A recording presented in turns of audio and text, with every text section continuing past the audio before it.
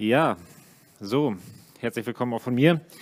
Ähm, mein Name ist David Werdermann, ich bin äh, Rechtsanwalt und Verfahrenskoordinator bei der Gesellschaft für Freiheitsrechte und wir haben ähm, letzte Woche ein äh, wegweisendes Urteil zum Verfassungsschutzrecht äh, ähm, bekommen vom Bundesverfassungsgericht ähm, erstritten ähm, und das würde ich heute gerne vorstellen. Vielleicht einleitend ein paar Worte zur GFF, ähm, die Gesellschaft für Freiheitsrechte, ist eine NGO mit Sitz hier in Berlin. Ähm, und wir machen strategische Prozessführung im Bereich der Grund- und Menschenrechte. Ähm, Schwerpunkt tatsächlich so, zumindest historisch, im Bereich digitale Grundrechte, viel im Bereich Überwachung, Polizeirecht, äh, Nachrichtendienste, ähm, aber auch inzwischen viele andere Bereiche, ähm, Versammlungsrecht, Antidiskriminierung, soziale Grundrechte. Ähm, das sind alles Themen, die wir bearbeiten und ähm, unser Ansatz ist strategische Prozessführung, heißt, ähm, wir versuchen äh, spezifische Fälle auszuwählen, die über den Einzelfall hinaus dann auch eine Wirkung entfalten. Und oft ist, sind das dann solche Fälle, wo wir auch sagen, dass das zugrunde liegende Gesetz ist eigentlich schon verfassungswidrig und das Ziel ist es dann, diese Gesetze vom, vor das Bundesverfassungsgericht zu bringen, ähm, um halt diese Gesetze ähm, letztendlich rechtsstaatlich und äh, äh, grundrechtlich zurechtzustutzen. Oft ist es gar nicht so, dass die dann komplett irgendwie für verfassungswidrig erklärt werden, aber das Bundesverfassungsgericht guckt sich dann diese Gesetze sehr genau an und ähm, und ja, erklärt dann oft äh, diese Gesetze in Teilen für verfassungswidrig. Hier äh, ein Beispiel, ähm, das BKA-Gesetz 2016, äh, grundlegende Entscheidung zum, zum Polizeirecht. Ähm, ähm, wir haben dann 2020, äh, glaube ich, dann ähm, eine ähnliche grundlegende Entscheidung zum, zur Auslandsaufklärung durch den, durch den Bundesnachrichtendienst, also den Auslandsgeheimdienst erstritten und jetzt eben ähm, die, letztendlich die Grundentscheidung des Bundesverfassungsgerichts zum Verfassungsschutzrecht, also zum Inlandsgeheimdienst. Genau, das ist unsere Delegation gewesen beim Bundesverfassungsgericht. Die Verhandlung war Ende letzten Jahres ähm, und wir haben halt ähm, das bayerische Verfassungsschutzgesetz sehr grundlegend angegriffen, weil ähm, in Bayern halt ähm, ja, eine, eine, grundlegende Reform 2016 stattgefunden hat.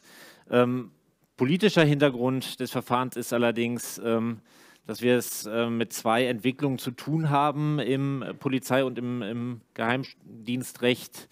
Äh, die sehr besorgniserregend sind. Nämlich zum einen haben wir eine Verpolizeilichung der Geheimdienste und zum anderen haben wir eine ähm, Vergeheimdienstlichung der Polizei.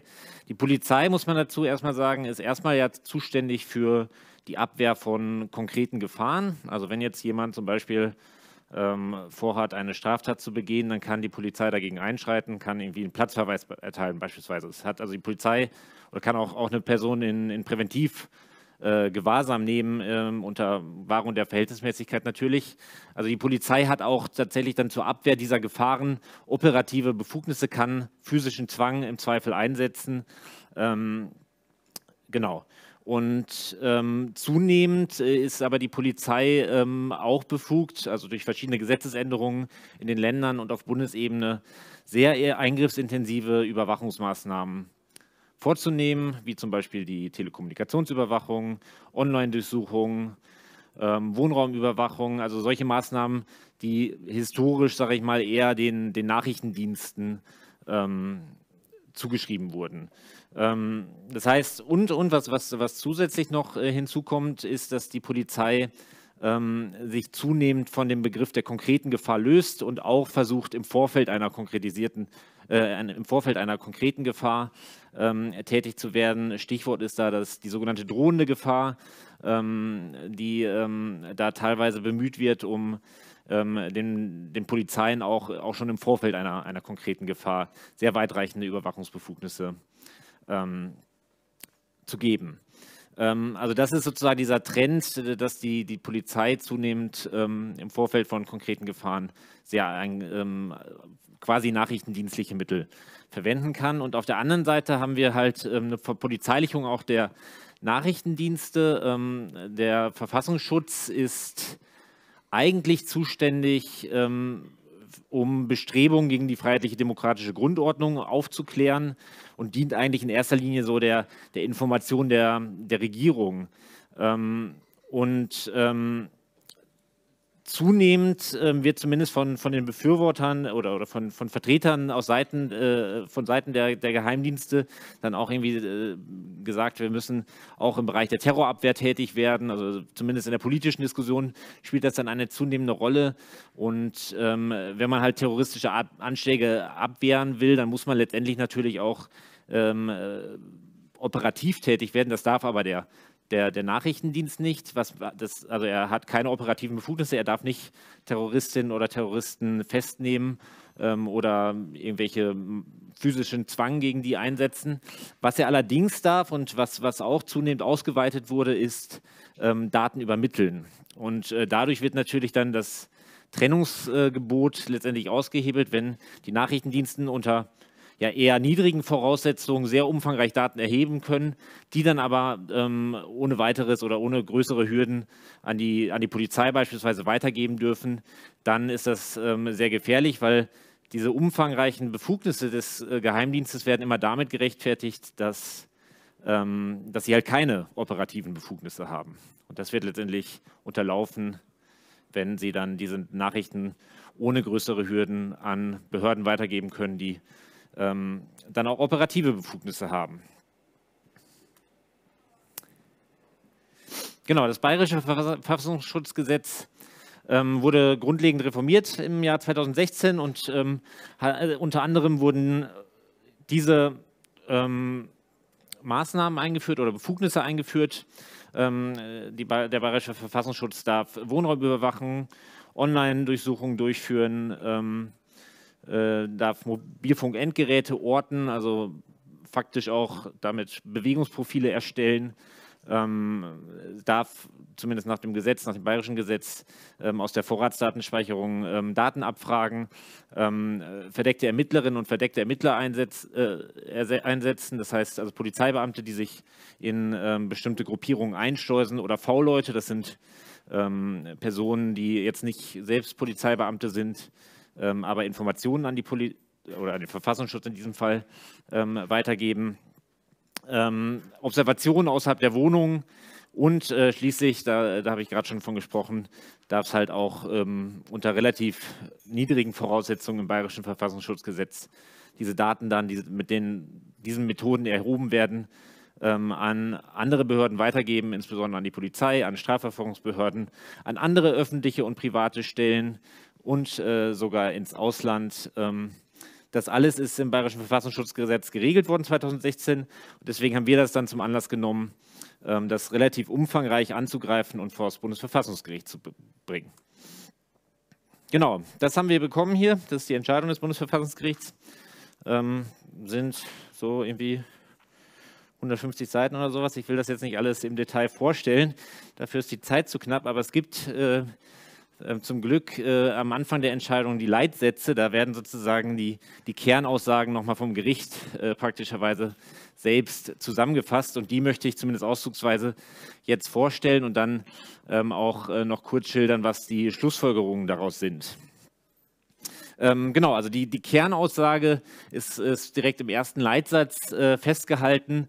Ähm, dort heißt es einmal, das Verfassungsschutz, also dass Verfassungsschutzbehörden nach geltendem Recht spezifische Aufgaben des, der Beobachtung und Vorfeldaufklärung wahrnehmen und dabei nicht wie Polizeibehörden über operative Anschlussbefugnisse verfügen, rechtfertigt es grundsätzlich Überwachungsbefugnisse einer Verfassungsschutzbehörde an modifizierte Eingriffsschwellen zu binden. Also das ist das, was ich gerade gesagt hatte, diese konkrete Gefahr für bestimmte Rechtsgüter, die man im Polizeirecht braucht, die ähm, sind dann zumindest grundsätzlich erstmal nicht erforderlich bei, bei Verfassungsschutzämtern.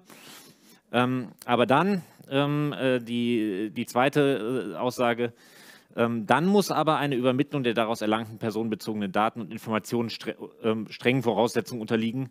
Also diese beiden Punkte, was sind denn jetzt diese modifizierten Eingriffsschwellen ähm, für diese Überwachungsmaßnahmen einerseits und was sind dann die Übermittlungsvoraussetzungen andererseits? Das ist, ist so der Kern der, ähm, Entscheidung und da würde ich jetzt im Detail nochmal drauf eingehen. Also erstmal, was die ähm, Voraussetzung für die Überwachung selbst betrifft, da sagt das Bundesverfassungsgericht, wie streng die Verhältnismäßigkeitsanforderungen sind an heimliche Überwachungsmaßnahmen ähm, im Einzelnen, bestimmt sich nach dem jeweiligen Eingriffsgewicht. Ähm, und dann äh, sagt es, Maßnahmen, die zu einer weitestgehenden Erfassung der Persönlichkeit führen können, unterliegen denselben Verhältnismäßigkeitsanforderungen wie polizeiliche Überwachungsmaßnahmen. Also sehr eingriffsintensive Maßnahmen, da ist dann sozusagen, äh, unterscheidet sich das gar nicht, äh, ob jetzt der Verfassungsschutz das macht oder die Polizeibehörde, ähm, sondern da gelten dann die gleichen Anforderungen. Ähm, und da hat das Bundesverfassungsgericht auf dieser Grundlage gesagt, bei der Online-Durchsuchung und bei der bei der Wohnraumüberwachung, äh, die halt ja mit, mit die, die schwersten Eingriffe in Grundrechte sind, die wir, die unsere Rechtsordnung kennt, oder zumindest die schwerwiegendsten Überwachungsgrundrechtseingriffe, ähm, da gleichen sich sozusagen diese, diese Anforderungen an. Das heißt, man braucht, auch der Verfassungsschutz braucht da eine konkrete Gefahr für ein überragend wichtiges Rechtsgut. Ähm, und das war halt im, ähm, und, und die Maßnahme muss auch auf, auf die Abwehr dieser Gefahr auch gerichtet sein. Und das war im Bayerischen Verfassungsschutzgesetz nicht der Fall. Ähm, das Bundesverfassungsgericht hat sogar noch darüber hinaus gesagt, die Verfassungsschutzämter dürfen diese Maßnahmen auch immer nur subsidiär anwenden. Das heißt, nur wenn die Polizei, die ja zu den gleichen Zwecken auch tätig werden darf, ähm, nicht rechtzeitig ähm, diese Maßnahmen einsetzen kann. Es sind jetzt eigentlich kaum noch Situationen, also in meinen Augen sind kaum Situationen vorstellbar, wo die Polizei nicht rechtzeitig ähm, äh, tätig werden kann, ähm, sodass in meinen Augen diese Befugnisse zu Online-Durchsuchungen und zur Wohnräumüberwachung durch den Verfassungsschutz weitgehend leerlaufen sollten. Hat dann noch, das Bundesverfassungsgericht hat noch mal so ein paar andere Sachen noch gerügt äh, oder, oder beanstandet an diesen gesetzlichen Regelungen. Unter anderem ähm, gab gibt es keinen hinreichenden Kernbereichsschutz, also sehr ähm, so äh, ja, hochpersönliche Gespräche beispielsweise dürfen, ähm, da braucht es halt bestimmte Schutzvorkehrungen, dass die halt nicht überwacht werden. Genau, handelt es sich jetzt nicht um diese sehr, sehr eingriffsintensiven, also sehr eingriffsintensiven Maßnahmen, sondern ein bisschen weniger ähm, schwerwiegenden Überwachungsmaßnahmen. Ähm, dann gilt, gelten andere ähm, Anforderungen. Äh, das ist dann ähm, der nächste Punkt in diesem Leitsatz. Also ansonsten muss die Überwachungsbefugnisse einer Verfassungsschutzbehörde nicht an das Vorliegen einer Gefahr im polizeilichen Sinne geknüpft werden. Vorauszusetzen ist dann aber ein hinreichender verfassungsspezifischer Aufklärungsbedarf. Dieser ist nur gegeben, wenn die Überwachungsmaßnahme zur Aufklärung einer bestimmten nachrichtendienstlich beobachtungsbedürftigen Bestrebung im Einzelfall geboten ist und hinreichende tatsächliche Anhaltspunkte für die Beobachtungsbedürftigkeit vorliegen. Diese muss umso dringender sein, je höher die, das Eingriffsgewicht der Überwachungsmaßnahme ist. Und solche dann doch also sozusagen nicht ganz so intensiven Maßnahmen, aber immer noch relativ äh, eingriffsintensiven Maßnahmen, wo, wo, jetzt nicht einfach ähm, eine bloße, äh, bloße tatsächliche Anhaltspunkte für eine, eine ähm, Bestrebung gegen die freiheitliche demokratische Grundordnung ausreichen sollten. Das sind dann halt diese Maßnahmen, also die, die Befugnis zur Endy-Ortung, weil sie halt eben auch das Erstellen von Be Be Bewegungsprofilen ermöglicht, ähm, wurde beanstandet, äh, weil sie zu weitgehend war, weil es keine hinreichende Eingriffsschwelle gab. Die Befugnis zum Einsatz von verdeckten Ermittlerinnen und ähm, von V-Leuten äh, wurde beanstandet. Ähm, da ist ganz interessant, dass die bayerische Staatsregierung in der in der Verhandlung ähm, oder auch, auch schon vorher in den Schriftsätzen die Ansicht vertreten hat, das sei ja gar kein Grundrechtseingriff, wenn jetzt irgendwie ähm, verdeckte Ermittlerinnen oder Ermittler in irgendwelche Gruppen eingeschleust werden. Man könne eh nicht darauf vertrauen, dass äh, die Leute, mit denen man sich dann unterhält, dass das dann keine, ähm, keine Spitzel seien. Ähm, also dem hat das Bundesverfassungsgericht eine recht deutliche Absage erteilt und hat sogar gesagt, dass es ein sehr, schon trotzdem noch ein gewichtiger Grundrechtseingriff ist und dass man da dann halt ja, eine erhöhte ähm, Aufklärungsbedürftigkeit ähm, braucht. Und das Gleiche gilt auch für, für Observationen, ähm, genau, also Observationen außerhalb ähm, der Wohnung. Jeweils wurde beanstandet, dass es halt keine hinreichende Eingriffsschwelle gibt.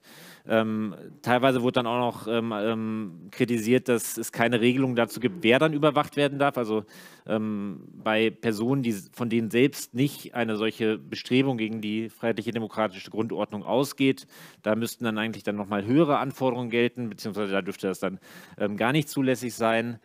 Ähm, und ähm, schließlich haben sie auch noch kritisiert, dass ähm, das Gesetz keine unabhängige Vorabkontrolle durch ein Gericht oder durch ein gerichtsähnliches Gremium zumindest vorsieht, um so eine gewisse rechtsstaatliche Kontrolle ähm, zu garantieren.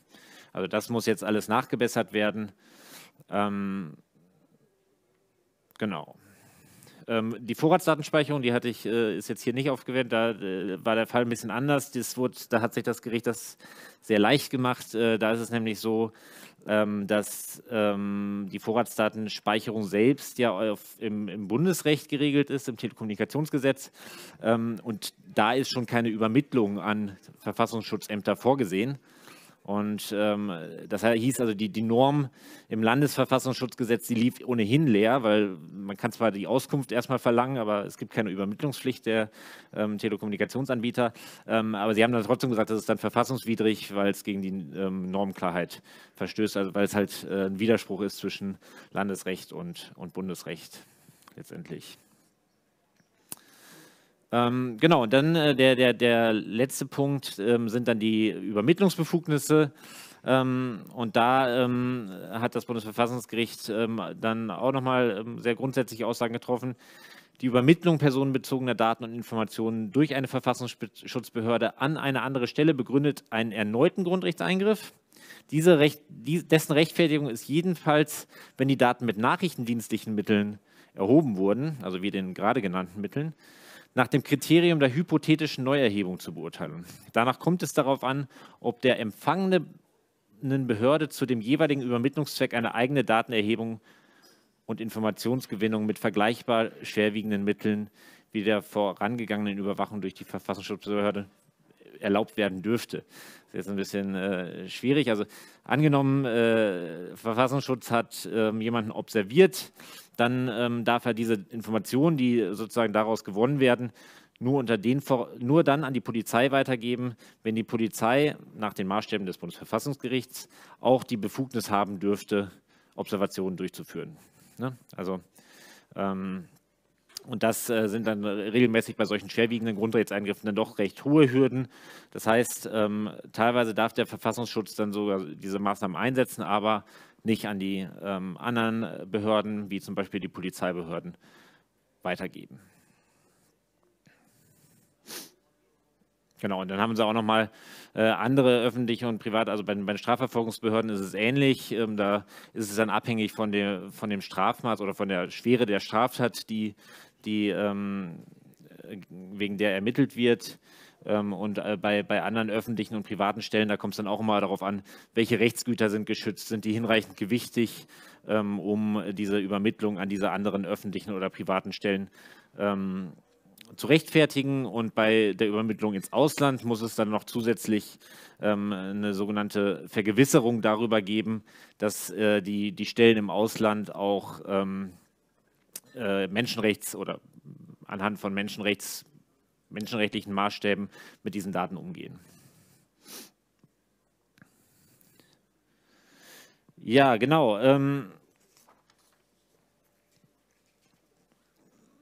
vielleicht das Fazit, also es handelt sich um eine Leitentscheidung zum Verfassungsschutzgesetz, betrifft erstmal nur Bayern, aber es hat das kann man jetzt schon sagen, Auswirkungen auf wahrscheinlich alle Verfassungsschutzgesetze, also äh, auch auf das Verfassungsschutzgesetz des Bundes und der Länder. Ähm, eigentlich müssen jetzt alle, ähm, alle Gesetzgeber tätig werden und ihre ähm, Verfassungsschutzgesetze überarbeiten. Ähm, unklar ist, wie, inwiefern sich jetzt durch dieses Gesetz unmittelbar die Praxis ändern wird. Ähm, denn wir haben es leider immer noch, äh, ist leider immer noch so, dass der Geheimdienst überwiegend im Verborgenen arbeitet und es da ein erhebliches Kontrolldefizit gibt. Ähm, das Bundesverfassungsgericht hat sich auch leider nicht in dieser Entscheidung zu Kontrollrechten, also wie zum Beispiel dem Auskunftsrecht der Betroffenen geäußert, hat sich auch nicht äh, oder nicht, zumindest nicht eingehend zu den äh, parlamentarischen Kontrollrechten ähm, geäußert. Ähm, und daher äh, bleibt es leider dabei, dass der Verfassungsschutz ja letztendlich ein Fremdkörper in der Demokratie ist, der ähm, ja nicht umfangreich demokratisch kontrolliert werden kann. Ähm, und ja, wenn man sich die, die Geschichte des, des Bundesamtes zum Beispiel für Verfassungsschutz anguckt, dann muss man ja schon konstatieren, dass er ähm, zumindest in der Vergangenheit der Verfassung mehr geschadet hat, als dass er sie geschützt hat, ähm, sodass sich auch die eigentlich, also rechtspolitisch zumindest, die Frage stellt, ob wir den Inlandsgeheimdienst überhaupt brauchen oder ob sich nicht, ob der Inlandsgeheimdienst auch abgeschafft werden sollte. Ähm, Genau, als GFF werden wir erstmal mit rechtlichen Mitteln weiter dafür, dafür streiten, dass er ähm, rechtsstaatlich eingehegt wird, wird, dass die Befugnisse weitestgehend ähm, auf, also auf ein grundrechtskonformes Maß äh, zurückgestutzt werden. Wir ähm, äh, sitzen gerade daran ähm, oder bereiten jetzt eine Verfassungsbeschwerde gegen den Staatstrojaner für die verschiedenen ähm, Geheimdienste vor ähm, und werden auch weiter daran arbeiten, genau, den Verfassungsschutz ja, in die Grenzen der Verfassung zu verweisen. Also Fazit, das, äh, das Bundesverfassungsgericht mag äh, die Ver äh, Verfassung vor der ähm, Verfassung schützen, äh, die, den Verfassung vor dem Verfassungsschutz schützen, ähm, aber vor allem braucht es halt eine, eine kritische und ähm, aufmerksame Zivilgesellschaft, die einerseits solche Klagen hier vor das Bundesverfassungsgericht bringt, aber auch sonst ähm, Kritik an den Diensten übt und ihnen genau auf die Finger schaut. So viel zum Fazit und wer uns unterstützen kann, kann gerne Spenden- oder Fördermitglied werden. Ähm, könnt gerne mal auf unserer Seite vorbeischauen und jetzt freue ich mich über Fragen und Wortmeldungen.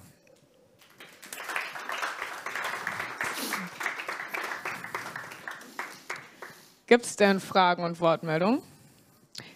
Ich habe eine Frage auch. Ah, okay. Dann gebe ich dir erstmal das Mikro. Hi, ähm, meine Frage ist, wie lange dauert sowas und äh, wird euch da vielleicht durch diverse Sachen, äh, werden euch da Steine in den Weg gelegt, äh, um da die Schnelligkeit zu verringern oder ist es, naja, man geht mal hin und dann wird das irgendwie umgesetzt? Also was ist quasi der, der zeitliche Horizont und ähm, die Hürden, die einem da entgegenkommen? Ja, gute Frage. Ähm wie man an dem Verfahren sieht, dauert es oft sehr lange. Äh, also das Gesetz wurde 2016 erlassen, ähm, gab dann noch mal ein paar Änderungen äh, zwischendurch. Also das Verfahren, wir haben dann irgendwie relativ bald Verfassungsbeschwerde eingelegt. Es gibt dann immer eine Jahresfrist, in der man die Verfassungsbeschwerde einlegen muss. Während des Verfahren, laufenden Verfahrens gab es dann verschiedene Änderungen. Dann mussten wir die Verfassungsbeschwerde wieder anpassen. Es ging dann wieder hin und her. Und äh, so hat es dann tatsächlich dann ja, äh, mehrere Jahre gedauert, äh, vier, vier, fünf Jahre gedauert, bis wir erst die Entscheidung hatten. Und während dieser vier, fünf Jahre war dann erstmal dieses ja, im Endeffekt verfassungswidrige Gesetz in Kraft. Ähm, und jetzt hat das Bundesverfassungsgericht ja auch nicht, also die haben ja gesagt, es ist verfassungsfriedlich, aber haben dann dem Gesetzgeber auch erstmal aufgegeben, ihr müsst jetzt, ihr könnt es überarbeiten. Ne? Also es ist jetzt nicht so, dass das jetzt erstmal nichtig ist, sondern überwiegend zumindest weiterhin erstmal vorübergehend in Kraft und der Gesetzgeber muss nachbessern, ähm, haben da eine Frist gesetzt bis, bis nächstes Jahr irgendwann. Ähm, aber es, es, dauert alles sehr lange und das ist natürlich ähm, sehr bedauerlich. Ähm, beim Gericht ist es natürlich so, das Bundesverfassungsgericht ist irgendwie ja, überlastet. Ähm, haben, haben nicht genug äh, Kapazitäten, um irgendwie ja, die sehr hohen Eingangszahlen zu bewältigen. Ähm, deswegen habe ich da ein gewisses Verständnis, dass es manchmal ein bisschen länger dauert, aber so lange, das ähm, ja, ist schon bedauerlich, muss man schon so sagen. Ähm, ich habe eine knackige begriffliche Frage und zwar, was ist denn der Unterschied zwischen V-Leuten und verdeckten Ermittlern? Ja, ich habe es ja gerade schon versucht zu erklären. Also verdeckte Ermittlerinnen sind in der Regel dann Beamte des Verfassungsschutzes oder der Polizei, die sich eine Legende letztendlich schaffen und mit dieser Legende dann in bestimmte Zirkel reingehen. Also es ist sehr auf, aufwendig letztendlich erstmal jemanden äh, zu instruieren und diese Legende zu, ähm, zu schaffen und die Person dann zu entsenden. Ist natürlich auch mit einem gewissen Risiko für die Person äh, mhm. verbunden, zumindest in bestimmten Kreisen. Ähm, deswegen ist das, ähm, ja, würde ich jetzt mal sagen, wahrscheinlich eher seltener der Fall. Häufiger sind, sind wahrscheinlich V-Leute, das sind Personen halt, ähm, die in einer bestimmten Szene bereits sind, ähm, sei es jetzt irgendwie in einer islamistischen Szene oder auch, auch teilweise bei der Polizei auch irgendwie in einer Drogenszene sind ähm, und die kriegen dann Geld von der Polizei dafür, dass sie halt ähm, ja, sporadisch oder regelmäßig ähm, Informationen liefern. Ah, okay. Okay. Alright. Ja, toll. Hier vorne noch eine Frage. Ähm, wenn ich das richtig verstanden habe, sollte das bayerische Verfassungsschutzgesetz ja nur bestehende Praxis mehr oder weniger legalisieren. Außerdem habe ich mir den Kommentar von dem Hermann irgendwie genau angeguckt und der sieht da eher so eine Art handwerklichen Fehler, also Formulierungsprobleme. Ähm, wie wird es denn weitergehen? Was schätzt du ein? Ja, also teilweise sind es äh, tatsächlich handwerkliche Fehler, aber teilweise ist das Gesetz auch einfach zu weit und die Befugnisse sind zu weit. Ähm, der Herr, also der Innenminister stellt sich auf den Standpunkt, ja, wir haben eh immer den Verhältnismäßigkeitsgrundsatz gewahrt und äh, die Befugnisse waren zwar sehr weit, aber wir haben das immer nur mit Augenmaß eingesetzt und wirklich nur die, die, die äh, schlimmsten Terroristen ähm, äh, überwacht. Ähm, das weiß ich nicht, das, das, das, kann ich nicht beurteilen, ob das tatsächlich der Fall ist. Ähm, wie geht es weiter? Also das, das, Gesetz muss angepasst werden jetzt bis, bis, bis nächstes Jahr. Ähm, in, den, in den anderen Ländern und in, im Bund muss es auch angepasst werden. Da gibt es jetzt keine Frist, aber es ist, wir hoffen zumindest und wir, ähm, wir gehen davon aus, dass es angepasst wird in den, in den meisten Ländern zumindest. Ähm, Genau, und die Befugnisse werden dadurch dann schon enger gefasst. Ähm, ja, ob die, ob die Behörden oder ob die Ämter sich dann an diese enger gefassten Befugnisse halten werden, das weiß man oft nicht, weil man halt, wie gesagt, es gibt halt kaum Transparenz. Ähm, die Vorabkontrolle, die richterliche Vorabkontrolle, ähm, die jetzt das Bundesverfassungsgericht bei einigen Maßnahmen zumindest fordert, oder richterlich oder zumindest durch ein unabhängiges Gremium, ähm, das ist mit Sicherheit ein gewisser Schutz, ne? also dass, dass, die Dienste nicht mehr selbst darüber entscheiden können, wann sie zum Beispiel äh, verdeckte Ermittler in bestimmte Kreise schicken, sondern dass da halt ein unabhängiges Gremium drüber gucken muss. Ähm, also das ähm, denke ich schon, dass das eine, ähm, auch in der Praxis deutliche Auswirkungen haben wird. Ja. Okay, wenn niemand eine weitere Frage auf dem Herzen hat, dann geht es hier jetzt auch weiter. Vielen lieben Dank dir.